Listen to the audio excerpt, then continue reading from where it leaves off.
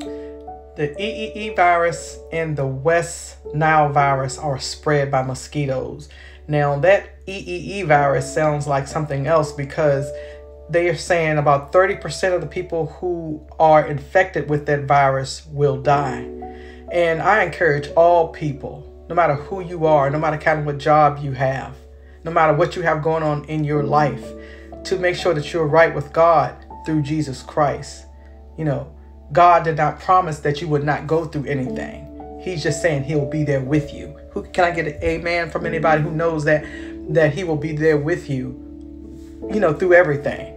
Through sickness, through everything. I mean, better than a marriage, through sickness and health, through death do you part.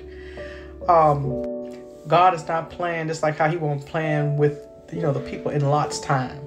He was not playing with the people in Noah's time. And he's not playing right now with the people in Brenda's time. So I encourage all people to make peace with God, no matter what's going on in your life. No matter who is laughing at you, no matter who don't understand why you must do what you must do. It's tight out there, y'all. It's getting tight, more tight and tight and narrow each day. In the end, I want to be able to see which one of you guys will be able to stand.